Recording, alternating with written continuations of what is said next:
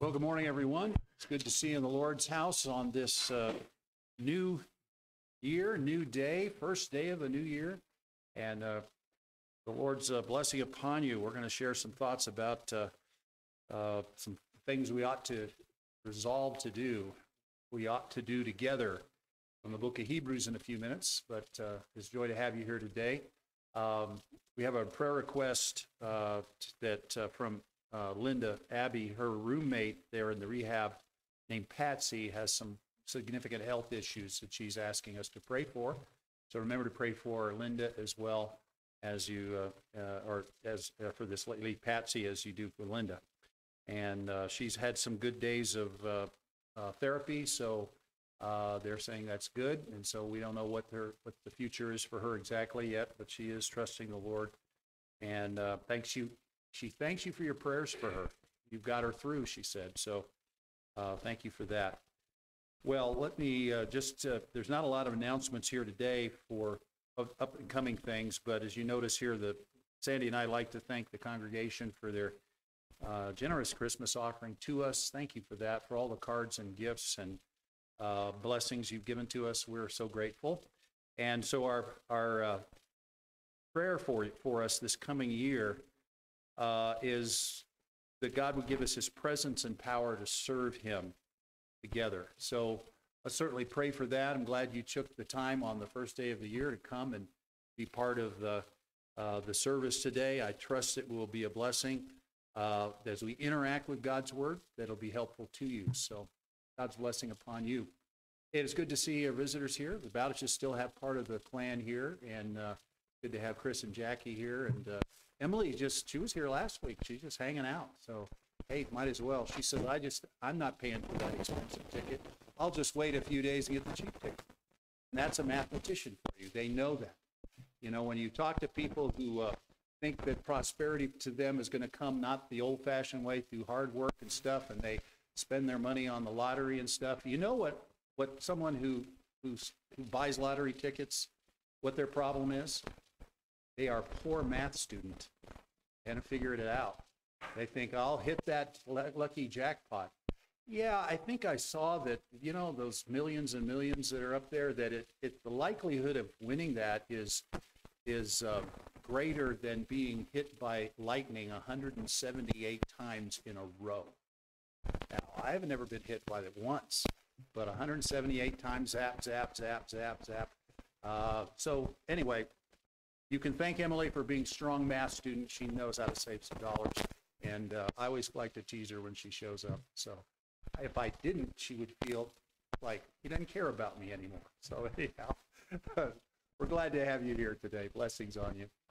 All right, uh, I'm going to let Joe share some more. We have a spe- uh, birthday on today, and we're going to acknowledge that in a moment. And let me make, make a mention of it. There was some confusion. We did have Sunday school today. I know last week we did not. We did have Sunday school today. Um, no evening service tonight. And do remember, Wednesday, the kids club is in recess. However, we are still having our multi-generational teaching. I've got some uh, special things that I do with our multi-generational class, and then we break up, and the kids go with me to pray and for their activities, and then you guys can break up in your group. So do remember, 6:30 on Wednesday, our regular time, we will be meeting here at the Lord's house for prayer meeting, Bible study. All right, and no service tonight. Okay, Brother Joe, you'll come and share some announcements. Good morning. I've been told today by my daughter-in-law that this is a very nice and warm day. So you need to take that in mind that you're living in an area where it is nice and warm today. Uh, some of you don't seem to believe me, but let's see. Missionary of the month. We're going to stick with Chad Wells family, Papua New Guinea. Uh, they'll be our missionaries, so remember them especially this month as you pray for your missionaries.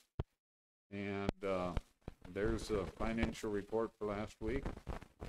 Sunday quote I beseech you, therefore, brethren, by the mercies of God, that ye present your bodies a living sacrifice, holy, acceptable unto God, which is your reasonable service. Romans 12 That's one to, good one to start out the, the new year and to remember. And, and of course, the pastor has a little thank you note in there. And that one birthday is Hannah. Hannah, how old are you? Eight? Eight, okay. That's what, uh, time flies, but I remember when Hannah was born here. Uh, let's sing happy birthday to Hannah.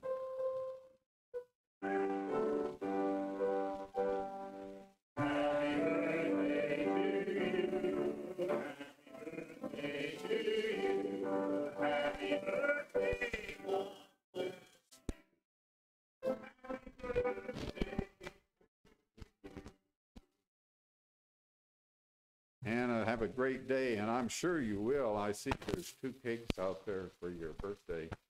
And what people are going to eat, you get to eat, I guess, Yeah. all by yourself. Uh, anniversary, the Pepins have an anniversary on the 5th, January the 5th. How many? I like that. He wasn't the one that got the blame.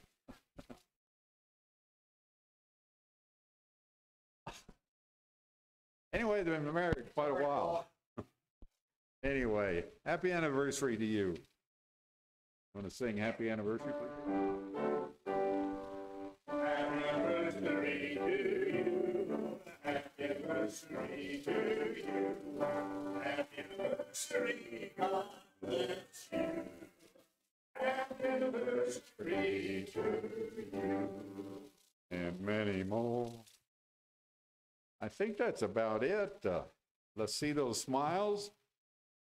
We got got our Christmas done, and my first uh, uh, resolution is to make it to the next the next year. So that's always a good one, and I'll strive for that right now. Thank you. God bless. Enjoy your day. The Lord gave it to you. Use it well. All right, Brother Matt and his family are in San Antonio uh, today and uh, a little vacation, so I'm going to lead with the singing. And if I invite you to turn, please, to number 20 as you stand together to on this first day of the new year to praise the Lord. Ready together? Praise him, praise him, Jesus our blessed Redeemer. Sing, O earth, his wonderful love proclaim. Hail him, hail him, highest archangels in glory. Strength and honor give to his holy name. Like a shepherd, Jesus will guard his children. In his arms he carries them all day long. Praise him, praise him, tell of his excellent greatness. Praise him, praise him, ever in joyful song. Praise him, praise him, Jesus our blessed Redeemer. For our sins he suffered and bled and died. He rock, our hope of eternal salvation. Hail him, hail him, Jesus the crucified. Sound his praises, Jesus who bore our sorrows, love unbounded, wonderful, deep, and strong. Praise him, praise him, tell of his excellent greatness. Praise him, praise him, ever in joyful song. Praise him, praise him, Jesus our blessed Redeemer. Heavenly portals loud with hosannas ring. Jesus our Savior reigneth forever and ever.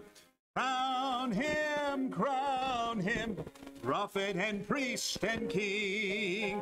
Christ is coming over the world victorious. Power and glory unto the Lord belong. Praise him, praise him, tell of his excellent greatness. Praise him, praise him, ever in joyful song. Our scripture reading this morning comes from the book of Hebrews, chapter number 12. Wherefore, seeing we also are compassed about with so great a cloud of witnesses, let us lay aside every weight and the sin that does so easily beset us. And let us run with patience the race that is set before us, looking unto Jesus, the author and finisher of our faith, who for the joy that was set before him endured the cross, despising the shame, and is set down at the right hand of the throne of God. For consider him that endured such contradiction of sinners against himself, lest ye be wearied and faint in your minds. Ye have not yet resisted unto blood, striving against sin. And ye have forgotten the exhortation which speaketh unto you as unto children, My son, despise not thou the chastening of the Lord, neither faint when thou art rebuked of him. Whom the Lord loveth, he chasteneth, and scourgeth every son whom he receiveth. If ye endure chastening, God dealeth with you as with sons. For what son is he whom the Father chasteneth not? Furthermore, we have had fathers our flesh, which corrected us, and we gave them reverence. Shall we not much rather be in subjection of the Father's spirits and live? For they verily for a few days chastened us after their own pleasure, but he for our profit, that we might be partakers of his holiness. Now no chastening for the present seemeth to be joyous, but grievous. Nevertheless, afterward it yieldeth the peaceable fruit of righteousness unto them which are exercised thereby. Wherefore lift up the hands which hang down, and the feeble knees. Make straight paths for your feet, lest that which is lame be turned out of the way, but let it rather be healed. Follow peace with all men and holiness, without which no man shall see the Lord. Let's pray. Thank you, Father, for our time together this day to worship you. It is appropriate, Lord, that the very first few hours of the new year would be spent in contemplation of the greatness of our God, the works of our God, the word of our God, the power of our God.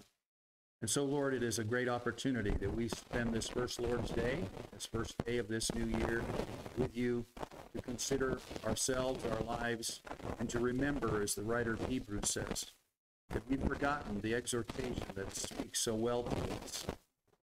The Lord loves, He chastens.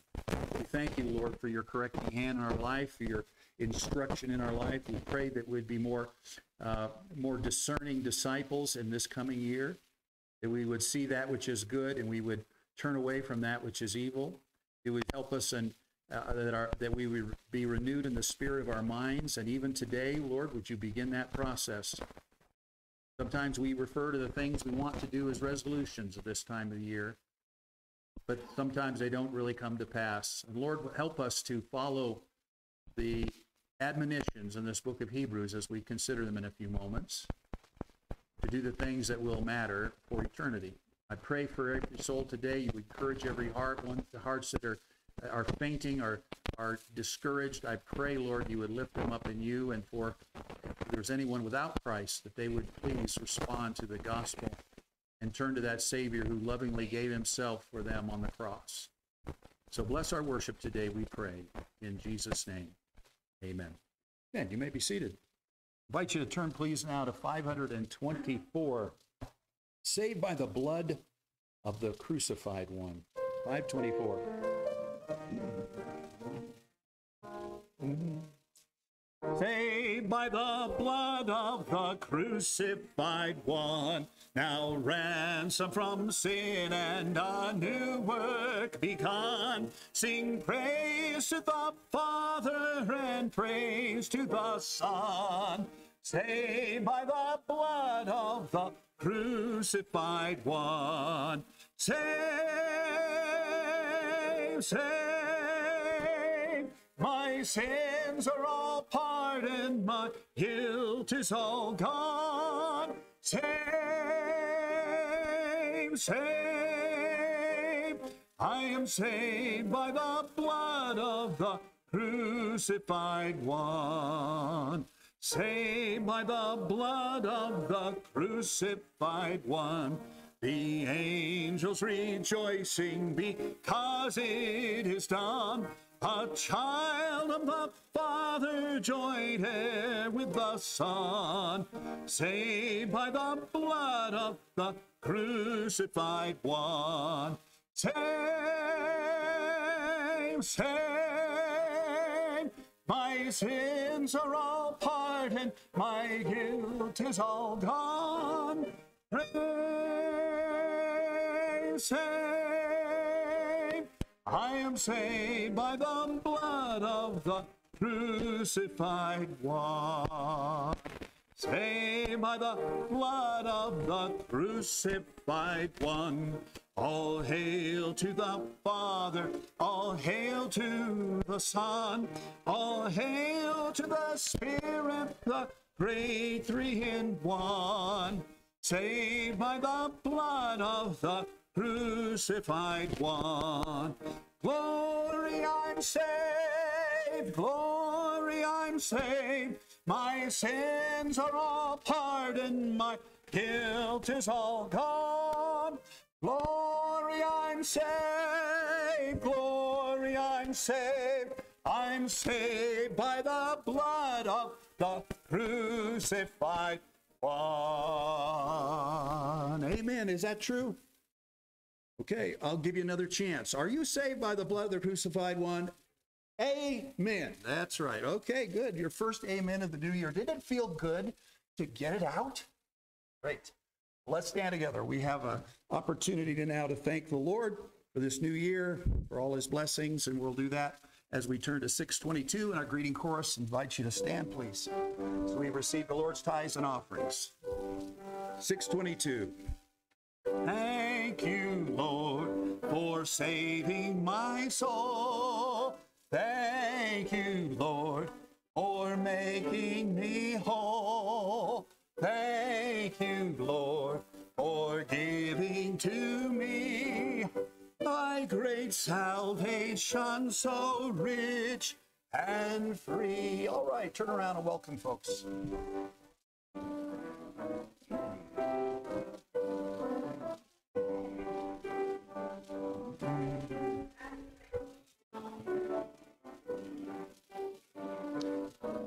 Hey,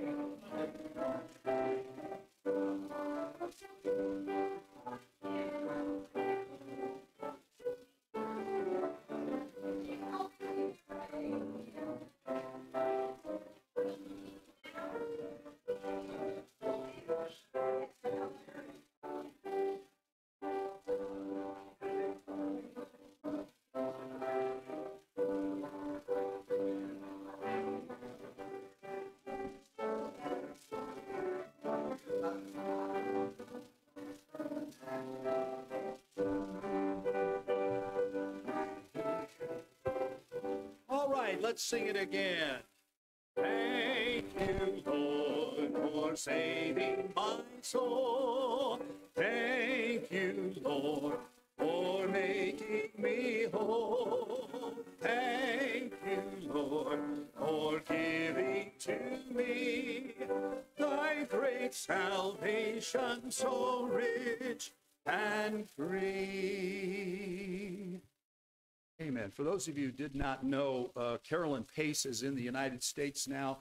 Uh, her sister passed away, and she came in for the funeral, I believe, in North Carolina. She will be traveling to some of the churches since uh, it's only been five, six weeks since Tom passed.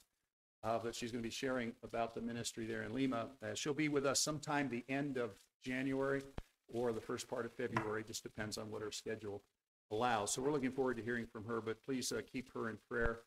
Uh, they've had a lot of loss this year, and uh, we understand that as a church too, don't we? I was telling the Sunday school class uh, back in 2022, the first day of 2022, we would not have envisioned that we would be losing uh, either directly or indirectly seven seven of our congregation. And so it's uh, been a rough rough time for loss, and so we understand that. But in the midst of that, we can praise the Lord for His goodness and uh, the blessing that He's been to our. Let's continue to thank Him for that. Let's uh, thank Him for the provision for our missionaries and for the work of ministry here. And uh, Brother Carl, would you mind praying for the offering, please, brother?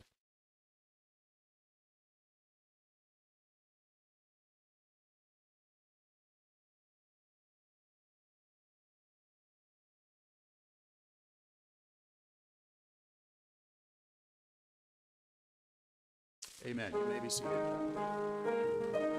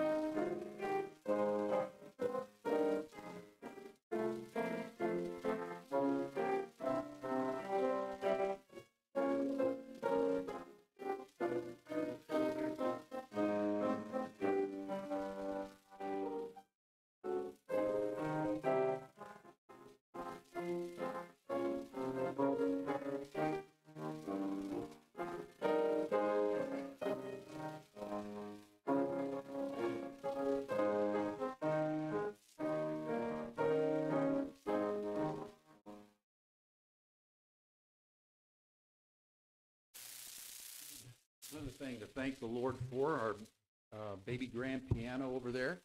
And uh, I'm grateful for that, provision of the Lord. Well, I invite you to turn in your hymnals to number 478. 478.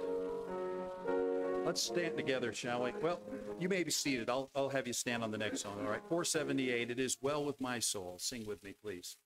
When peace like a river attendeth my way, when sorrows like sea billows roll, whatever my lot, thou hast taught me to say, It is well, it is well with my soul.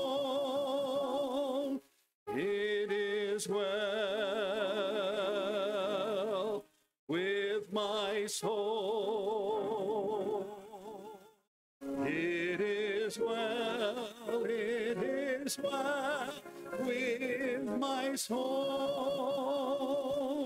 Though Satan should buffet, though trial should come, let this blessed assurance control that Christ has regarded my helpless estate and hath shed his own blood for my soul. It is well with my soul. It is well, it well with my soul. my sin, oh, the bliss of this glorious thought. I sin not in part, but the whole is nailed to the cross, and I bear it no more. Praise the Lord, praise the Lord, oh my soul. It is well with my soul. It is well, it is well with my soul. Now, would you stand, please, on the last verse? And Lord, haste the day when the faith shall be sight. The clouds be rolled back as a scroll. The trump shall resound, and the Lord shall descend. Even so, it is well with my soul. It is well with my soul. Is well, it is well with my soul. Amen. May that be the case in our lives this year. 445, if you'll turn over there. Let's sing the first, second, and last verse of standing on the promises of God. We have the eternal word of God. We can hold it in our hands. We can study it. We can memorize it. We can share it. And we can have it bless us. And so this year, let's use that promise of God that he his word will never return void in our lives as we sing 445 standing on the promises. All together now. Standing on the promises of Christ my King, through eternal ages let his praises ring. Glory in the highest I will shout and sing, standing on the promises of God. Standing, standing, standing on the promises of God, my Savior. Standing, standing. I'm standing on the promises of God, standing on the promises that cannot fail when the howling storms of doubt and fear assail.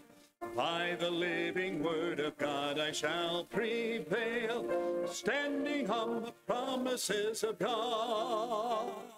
Standing, standing, standing on the promises of God, my Savior. Standing, standing. I'm standing on the promises of God. On the last verse. Standing on the promises I cannot pay, listening every moment to the Spirit's call, resting in my Savior as my all in all, standing on the promises of God, standing, standing, standing on the promises of God, my Savior, standing, standing. I'm standing on the promises of God. Amen. Thank you. You may be seated. Appreciate that spirit of worship as we have shared music, and thank you for playing Joy for us. Appreciate it. I always told Joy that I like the way she plays the piano. It's happy. So, not that everyone else doesn't play happy too, it's just that's what I notice about it. So, it's a new year, right? And did anyone stay up and watch the ball fall? It's only 10 o'clock our time, but I mean, it wasn't a real sacrifice. Anyone watch that fall down? How many? how many millions of dollars did that cost to put those lights together? I saw them, you know, those little triangles of glass, and then it, it's all LED now, so it does all the different colors. I saw that. They were interrupting football game, Paul, with, for that, you know, and I was just, I just couldn't understand why they would do that. But anyway, I saw some parts of it. But I didn't watch it fall down. Instead, I watched, uh, what was it, uh, right at the last at 10 o'clock midnight, uh, Georgia won just by a little bit. It was just so exciting to see. I was so delighted. Brother is he ready to text me.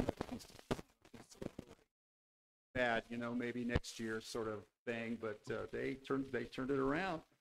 And I don't know if Paul stayed up till midnight. he's a servant of the Lord. He has to work, and he works in a he's a music minister, assistant pastor in church. He serves, and so uh, I think he up till midnight to see the whole game. But then in Georgia, that's different, you know. Go dogs, all that stuff. And so anyway, so football has has uh, arisen on the first uh, last day of the year, and it will continue doing so for another. My wife says, "Is it over yet?" Yet? I said, "Just one more." It's next Monday night, you know, 5:30. It'll start in, in, in Mountain Standard Time, and the championship game will be played by Texas Christian University versus the Georgia Bulldogs. It will be just a moment to remember until you forget two days later to play. That's sort of how it goes with our resolutions too. Is oh, I'm so excited about this first of the new year. I want things to happen. Things are going to be different. I'm going to make some changes and so on. And after a bit, we forget about it. Well, a fellow by the name of Christopher Flannery writes for the Imprimis magazine, uh, and he had a little had some thoughts that I thought were significant here about uh, resolutions and what we ought to do. And, and by the way, I'd like you to turn to Hebrews chapter 4 as we come to that. So here's what he has to say. I thought it was kind of significant. He said, New Year's Day is the morning of the year. He says, like the morning of mere days, it inspires fresh hope. But on an immensely grander scale, each morning we wake after disappearing in sleep for a split second of eternity, surprised again to find ourselves still here like strong coffee, coffee, the discovery is rejuvenating. Then we reflect that we have once again successfully spun around the Earth's axis.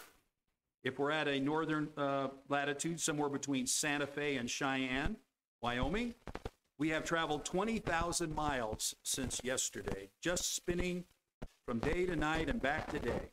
We begin to wonder at ourselves and take on small but innocent airs when we further reflect that without batting an eye or breaking a sweat, we have rocketed over a million and a half miles in our orbit around the sun since this time uh, a day ago. And that we are now going to start over and perform the same mysteries and miracles again in a mere 24 hours. We become almost tempted to the sin of pride. So it is every New Year's Day but on a scale at least 365 times more inspiring. Now we reflect that just in our daily rotations, we have spun over 7 million miles since last year. And in our orbiting, we have sailed an unthinkable 568 million miles through space. You realize you did that? You did.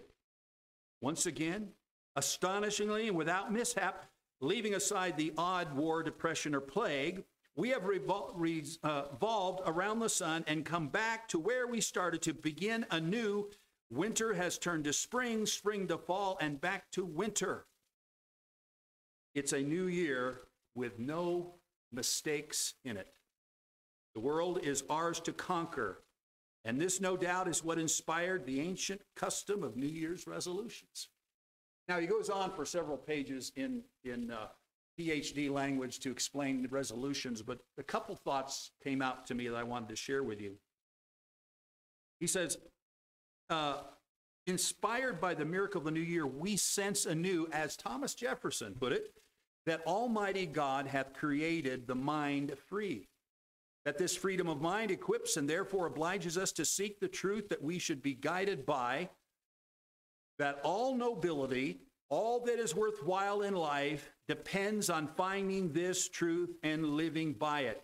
And failing to, seek it with all our heart, mind, soul, is let it is to let our lives slip through our fingers like water. Easy for that to happen. It's easy for us to sort of forget about that. And so he speaks about Benjamin Franklin and his thoughts about it. Let me share what he says about him. He says uh, Benjamin Franklin once conceived this the bold and arduous project of arriving at moral perfection. That's what he believed about uh, resolutions. Like most of us, he thought he knew well enough what was uh, right and wrong and saw no reason why he shouldn't be able always to do the one and avoid the other. Oh, and you're just rationally thinking it out. That seems to make sense, right? He soon found that it was not as easy as he supposed it would be. On further reflection, it occurred to him that his efforts to achieve perfection might even be what he laughingly called a kind of foppery in morals. Still, looking back on his efforts, he was confident that they had made him a better and happier man than he otherwise would have been. So it is, I think, with our New Year's resolutions. Even if we fall short, we are better men and women for having resolved to try. Resolution, in fact, was one of the virtues Franklin listed among a dozen others he aspired to acquire in his effort to achieve moral perfection. If you think you're going to do it, you listen to what Benjamin Franklin found out. He defined resolution this way resolve to perform what you ought. Sounds like him. Penny saved is a penny earned, et cetera, et cetera. You know, poor man's almanac, Richard's almanac. Sounds like a, a, a wise statement. Resolve to perform what you ought. Just do the right thing. Oh, he found out it's not that easy. Perform without fail what you resolve. Okay, that's simple too. Do what you say and then do it. Make what you say something that we you should do. And by the way, be careful. In, in Sunday school, we did discover in Ecclesiastes 5 that Solomon, wisest man, right, said this. He said, When you make a vow to God, defer not to pay it you make a request of God, it is better for you not to vow than to vow a vow and not to, to pay it because God has no delight in fools. Because He doesn't want you to make all these rash decisions. You should take your time. He says, when you come to the house of God, be careful when you come in. Be more ready to listen than to speak. And be careful that you are not rash with your tongue in telling God what you will do, and so forth and so on. And so Franklin goes on with that. And then it was it was precisely this that he found most hard to do. And failing at this, failing at doing what he said he would do, failing at it, he could not achieve temperance or justice or moderation or any of the other virtues on his list, aspirational list. I want to do this, I want to do that. But he couldn't do the first one, which was when I say I'm going to do something, I'm going to do it. He had it in a nutshell. How long ago was Franklin around? The founding of our country, 200 and something years. What has changed? Nothing. It's the same problem, the same issue. We resolve to know that we, we should, he that knoweth to do good and doeth it not to him it is sin. We know the scriptures teaching that we should follow after righteousness and true holiness, and that we should live a life a certain way, and then we find ourselves incapable of doing that. In and of ourselves, it's never going to happen. And so the ability to reach moral perfection, however, by the way, Franklin was defining that for himself. He was taking a lot of virtues that he knew to be good from biblical truth, but he was defining them himself and therefore setting his own standard that he couldn't quite keep by himself which is exactly what the Bible tells us. The law came to reveal the fact that we are sinners. The law of God was not something that is held up for you to be able to attain to keep it. And Jesus said it was very clear that the Pharisees of his day in Matthew 5 and 6 were not keeping the law. You have heard it said of them of old time, don't do this, but I say unto you, here's what the standard of the law really is. Everyone's defined it themselves. And so what do they have? They have a, a set of righteousness that is far lower than the righteousness of God. And Jesus said in that passage, except your righteousness exceed the scribes and the Pharisees, you will not enter into the kingdom of heaven. How can we do better than those guys? Their job is to stand around being holy. We can't do that. We're not going to make it. And of course, the whole point was of course, you can't make it. The law brought about death, Jesus Christ brought about righteousness. He came to destroy the law. And a whole group of people, Jews, part of the diaspora, those scattered abroad, that Peter spoke of in his epistle, and that the writer of Hebrews is speaking about. A whole bunch of them, those folks were looking at the value of Christianity and they were putting it and, and comparing it to the value of, of their tradition of, the, of Judaism.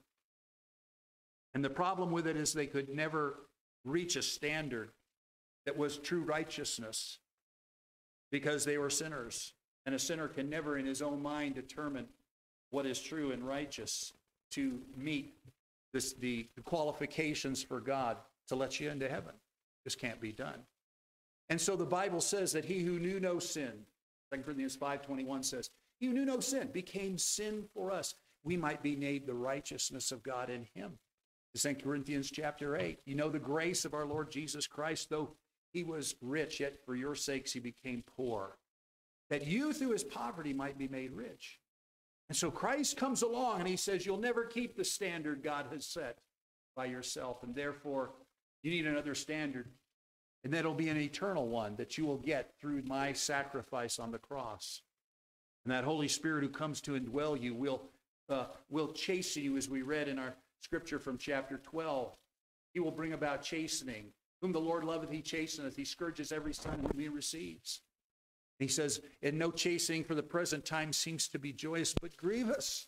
It's not pleasant to go through training and instruction by the Lord. Sometimes head is heavy upon us, for he has a lot of rough places to, to, to sand down in our lives.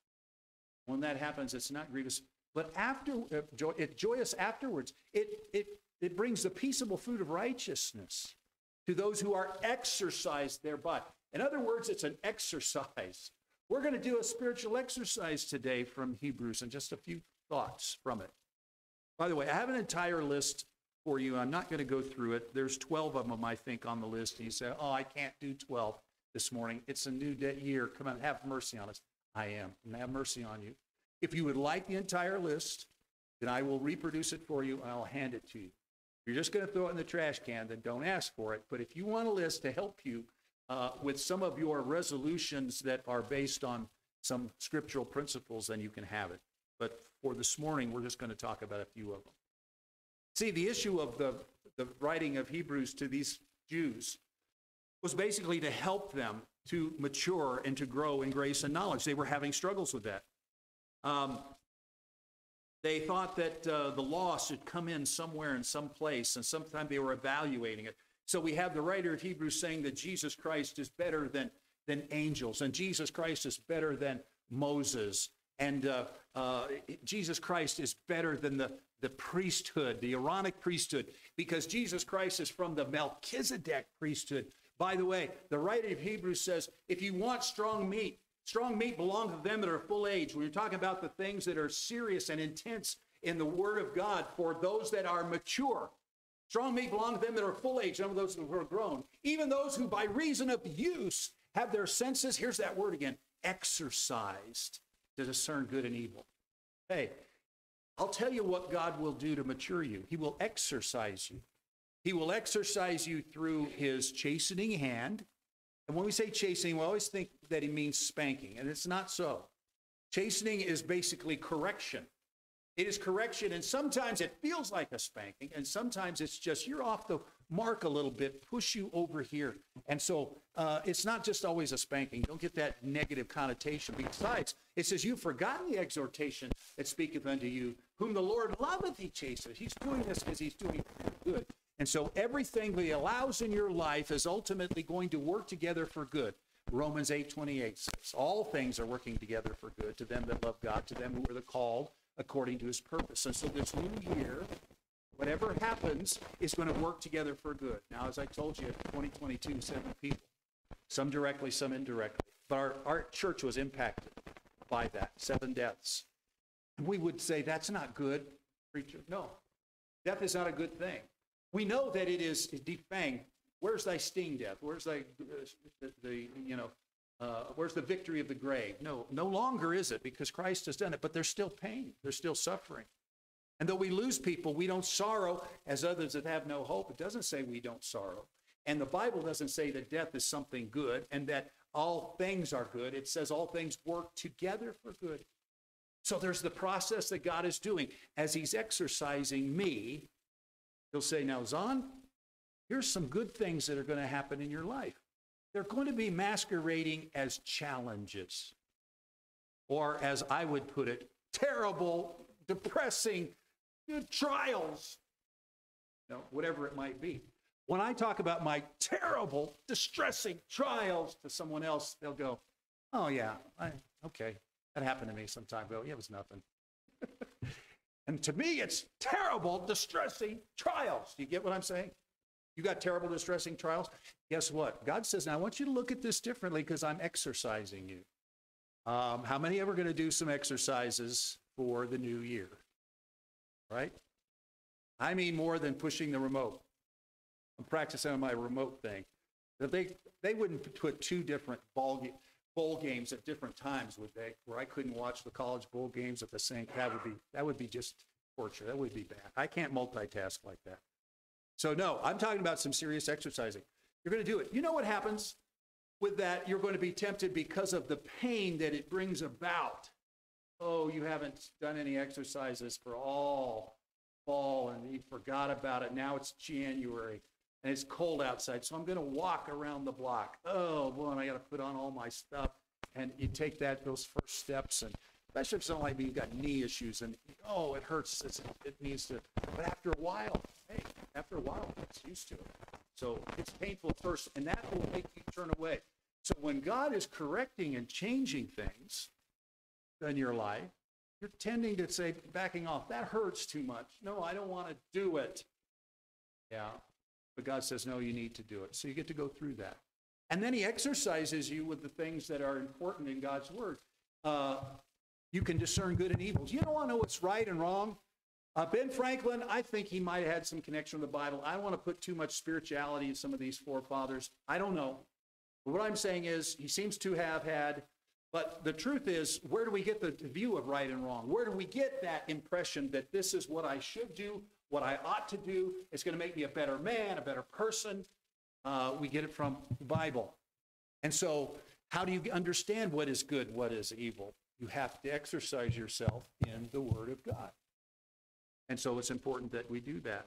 And that is what was the writer was trying to get the Hebrews to do. She said, look, he says, you need to go on to maturity. This process of maturing you in your faith takes time. It takes daily commitment, uh, and it takes uh, service to produce maturity. It's not just what you take in, it's what you give out. And so it is a whole process. Breathe in the Word of God, breathe out service to others, right? Hey, the first thing you're going to do with exercising, learn to breathe. Well, they tell you, into your nose, out your mouth. Those breathing. Then those stretching exercises. Oh, they want to twist you like a pretzel. My arm hurts. My knee hurts. I don't like it. Well, but there's something good that's going to come from it. All right? Now, a couple things, and I'm going to let you go. I'll let you go with a couple things and admonitions. Now, just since I'm not doing the whole 12, if you wanted to, you could write these few on the back of your bulletin if you wanted to. And they all begin with an exhortation. That's what makes it easy to find them in the book of Hebrews, because they all start out with, let us. Let us do it. Jefferson said, let us do this. Franklin says, let's go forward. Resolve to do it, and then do it. Resolving and doing are two different things. It's going to be easy to change moral perfection. No, it's not. What are we to do? Well, let us. It is a collective issue. Can you do it with me? Can we all do it together? Sure. So they're found in chapter 4 of Hebrews, real close together. Look at verse 1. There's your admonition, exhortive command. Let us therefore fear lest a promise being left us of entering into rest, any of you should seem to come short of it. Here's your first item on your list to resolve. Let us therefore fear. Now, the fear that uh, in this context is referring to these groups of, of Hebrews that were evaluating Christ and maybe making some thoughts toward, yes, that's better than Judaism, but maybe weren't completely to the place of accepting Christ as Savior and Lord. That's a possible interpretation here. So here the fear is this that you're not going to get the rest that he's speaking about, and you have to read uh, chapter 3 through and chapter five, uh, uh, 4 through in order to get that idea of the rest. But it's talking about the rest God promised his people, an eternal rest, the rest of the being in the land. But he says this rest didn't happen to some because unbelief pulled them away. And so now I want you not to be fall into that trap. Therefore, let us fear lest a promise being left unto us, entering into the rest, any of you should seem to come short of it. Here's the thing I want to encourage you, believer in Christ, is that we need to walk in the fear of the Lord. When I'm saying that, I don't mean the, the, the, the phobia fear, though that's the word that is used here. It has the idea that phobos word has the idea of being afraid, like startled, but it has beyond that the idea of, of, uh, of awe. You're just struck by the awesomeness of something. And usually it's the works of God. When you go and visit someplace, like I've never been to Niagara Falls. I know people up north have been there. I've never seen Niagara Falls, but I hear, yeah, it's awesome. The missionaries have been there say, yeah, you go out on a boat, you have to wear a raincoat, you get close to it, it'll just spray all over you. And it's really cool. And part of it's in Canada and part of it's in the United States. I don't understand how exactly that works, but hey, uh, I haven't been up there. But I hear it's just a fearful experience. Thinking of all that water coming over, and they talk about the zillions of gallons that are coming across every day. Oh man, it, it would be just an immense, uh, uh, you know, fearful thing. It's awesome. That's what God is. He's awesome. In Psalm 2, when God is talking about setting his son upon his kingdom, and the heathen are saying, We don't want him. We're going to cast his cords asunder, break his bands asunder, cast his cords from us. God in heaven, he laughs at that. He says, Oh, I've set my king upon my holy hill of Zion. I've made the decree that he is, this is my son. This day have I begotten thee. And son, ask of me, I'll give thee the heathen for thine inheritance, the uttermost parts of the earth for thy possession. That's the kind of God we're talking about. He sets up one, he puts down another, and he says to the to the uh, those who are standing against him, "You'll not stop me from setting my king upon my." I'm giving him a rod of iron. He can dash you like a potter's vessel. In the next chapter, chapter three of Psalms, the psalmist speaks about the God breaking the cheekbone ah, of the ungodly and knocking out their teeth. You say, "Oh, that's so violent." Yeah, sin is a consequence of sin is a violent thing. It's an awful thing and, and the destruction of the wicked, as God speaks about it, sometimes it is, a, a is very, uh, you know, uh, colorful. You'll see it. You can feel it. You can get the tension of it.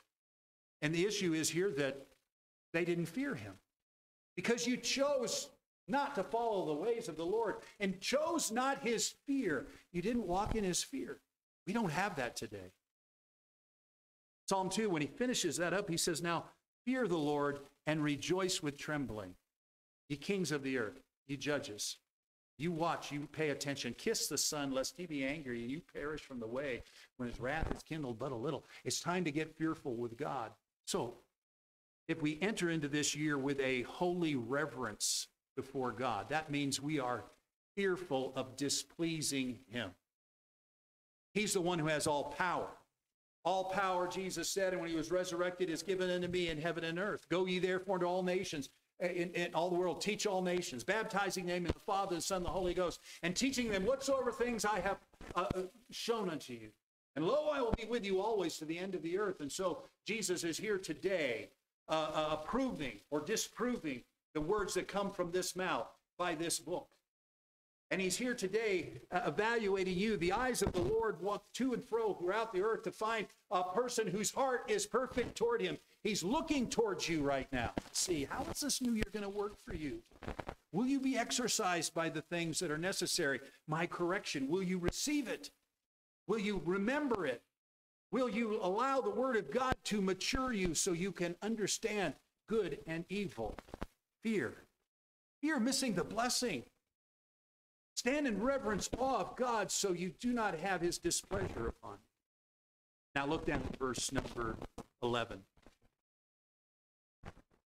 Oh, another one of them. Let us, let us labor, therefore, to enter into that rest, lest any man fall after the same example of unbelief.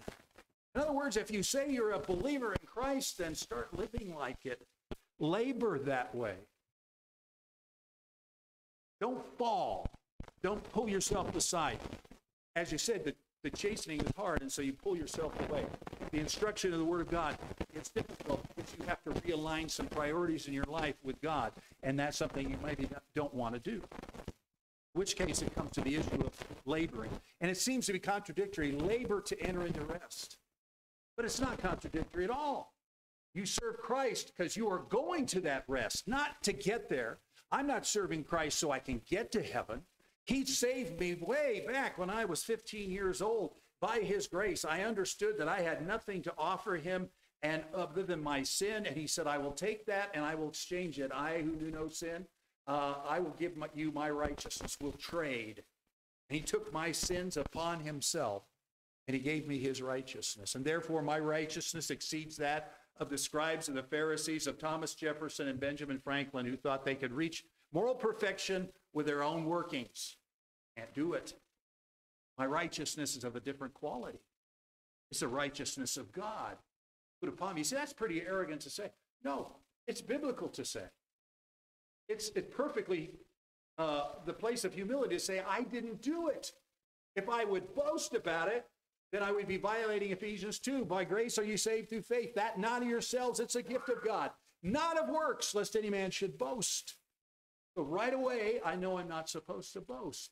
Right away, I know it's all of grace. And so I come before him with what? Reverent fear of who he is. And I'm laboring to enter into that rest. Not that I could, that's going to get me in, but because I'm going, I want to be there. I'm going to be part of that. And so, Lord, I'm going to serve you here so I can be the best servant I can be. Entering into that rest. Look down to verse 14. Seeing then that we have a, high, a great high priest that is passed into the heavens, Jesus, the Son of God, there it is again. Let us hold fast our profession. Hold on. Hold on. Who do I see? I have a great high priest. What did the priest do? He interceded for the people. Uh, on that one day of the year, the high priest. Now, the other priests would take the offerings. The Levites would be working around and, and handling some of the more menial things, but the, the, the, the, uh, uh, the, the priests themselves, who were in the order of Aaron, they basically followed all this stuff. They take your sacrifice. But there was one guy who was the high priest. And that guy's job once a year was to go into the Holy of Holies to make intercession for the entire nation. And on that day, he went in and out, in and out, in and out. You read the scriptures. He didn't just go in one time. He went in, in and out several times, uh, all figuring something distinct and different. But it always came with this issue of blood, with the sacrifice, with that which was, was uh, for the atonement in the Old Testament. Jesus entered into that holy place once for all, the Bible says. Didn't have to keep doing it. Uh, in that one day, several, several times, and then every year repeated again, several, several times, every year repeated again. Uh, Jesus went once in. He entered into the holy place, and you now have access. When you're holding on to something, understand that you're being held on by some someone greater. God is holding you. That great high priest who sacrificed himself for you is holding on to you. Peter put it this way. He talked about that that uh, uh, we we have uh, this this. Uh, um, he didn't use the term high priest. Peter spoke about the the issue of the the salvation of the of that blood of Christ being much more precious than gold that perisheth. And he talked about the fact that this faith that you have, uh, it's it's uh, though it's tried with fire, might be found in the praise and honor of appearing of Jesus Christ, and that you are held by the power of God through faith unto salvation, ready to be revealed in the last times. You're kept by God's power. And so when we hold on, it's like it, it, it's insignificant compared to what's holding us up. I'm going to hold on to God, and so I think of all the, the effort I have to use. No, the effort is on God's part to hold you up. I use illustration from time to time of my hulking, monstrous son now, six foot something. And anyway, when he was a little guy, oh, he was just a skinny Zons, all this arms and legs. So uh, he was a little guy, and he said, I'm going to get you, Dad. I said, okay, come and try. So he'd come and try and get me, and I would grab him by his ankle, and I'd flip him upside down. You know, here he is dangling with his arms, his arms. And occasionally, he would reach enough to get my leg. He says, I've got you now. oh, yeah. Who's holding who? When he was little, he would come up with his arms, hold you. I hold you. Okay, come on, you hold me. I gather him up. Something was going on in his life. He just wanted to be held, or he was unhappy. But he would, I hold you. I hold you. Come here. Are you holding me now? Yeah. No, he wasn't holding me. I was holding him. When you cry out to God, that's the same thing you're doing. I hold you. I hold you. You need his presence. And what does the Lord do? He comes down and sweeps down and he picks you up in his arms and he holds you. People have lost loved ones this year. And I can remember in several instances talking about the praying for them that the great arms of God, the everlasting arms, would uphold this family, this person, these times. That's what it means to hold on. I'm not holding on to him, he's holding on to me.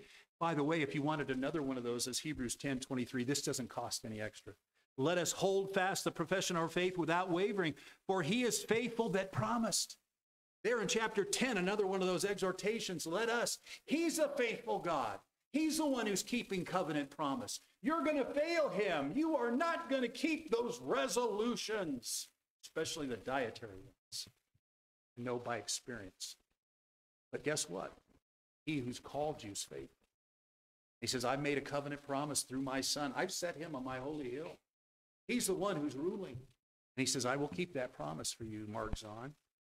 You can't keep your promises to me, but I can keep mine to you. So I'm going to hold on to you now. I want you to hold on to me. That's what that's about. All right, one last one in chapter 4 here, and we'll be done. Verse 16. Let us therefore come boldly unto the throne of grace, that we may obtain mercy and find grace to help in time of need. Get close to God. Get close to Him. Let us draw near. So how do you how do you get near to God? Well, we recognize the other things. There's the fearfulness of God in his presence. It is a fearful thing to fall in the hands of the living God. That's Hebrews 10:31. He says, God is a fearful God. God is a holy God. God is a righteous God. I'm not. So what do I do? Oh, well, we get in the righteous condition through salvation in Christ first, that but day by day, as we create sins and our old nature battles with us, uh, we pray what, what John said. He said, uh, uh, to come to God, he says, he, He's faithful and righteous to forgive us from all sins if we confess our sins. And He'll cleanse us from all unrighteousness. We say we have no sin, we lie and deceive ourselves, and the truth is not in us. But if we confess those sins, guess what? God comes near. We have an advocate, chapter 2 says, with the Father, Jesus Christ the righteous, who is the propitiation the mercy seat. He's the place of the Holy of Holies that right here Hebrews is talking about. You can go in to the throne of grace. What does that mean? That means you're right into the very presence of the presence of God in that holy place where the cherubim are guarding the Ark of the Covenant, guarding the mercy seat. And there you are. You can come right in. And Galatians says you can cry out, Abba, Father. He's close to you. He's near to you. He's looking for that sincere heart, not the perfect heart, not the, the one who's reached moral perfection with my resolutions. No, the one who says, I'm weak, I'm sinful, but I've been forgiven, Lord, and I ask for your help. Guess what? God says, That sacrifice I love, that broken and contrite heart, I'll not despise. And so he draws near. So he invites you to come first. Draw near with a true heart of confession. Make that true. sprinkled, uh, your hearts sprinkled from an evil conscience, your bodies washed with pure water. The water of the word cleanses us, makes us pure, makes us clean. We can come before him. Well, I don't know what your resolution's going to look like this year exactly. I'm sure you're even going to do those. But we ought to take stock and evaluate spiritually where we are. These thoughts in Hebrews can be a start to help us. So, what are we going to do? We're going to fear him. We're going to labor to then rest. We're going to hold on, and we're going to come boldly and find grace in time of need. And so, starting the new year out a good way today, folks. Thank you for being here. May God conceal the truth of his word to our hearts today. Let's pray. Father, I thank you for your graciousness and kindness to us through this last year. The Lord, we failed you so many times, and yet you abide faithful. And so as we come to this new year, will let us resolve to do some things. Oh, not in the promises of our flesh, but in the power of your spirit. Perhaps, Lord, we need to talk to you about some issues in our life that we are facing. We're afraid to do it because when they're going to look weak and we're going to look sinful, but we already know that's what we are, Lord. Why do we think we can hide it from you? We know that if we come clean with you and we confess those things, you're just and righteous to forgive us our sins and cleanse us from all unrighteousness. So grant us your help today, Lord. As we look to this year, we don't know what it will bring. We don't know what the challenges will be. We know there will be some correction for our lives. We know there will be some instruction from the Word. So, Father, let us go forward with these thoughts today, we pray. In Christ's name, amen. Amen. All right. You would take your hymnals. We have a final hymn, and actually it's uh, 387, I Will Follow. I Will Follow is number 387. So you stand with me, please.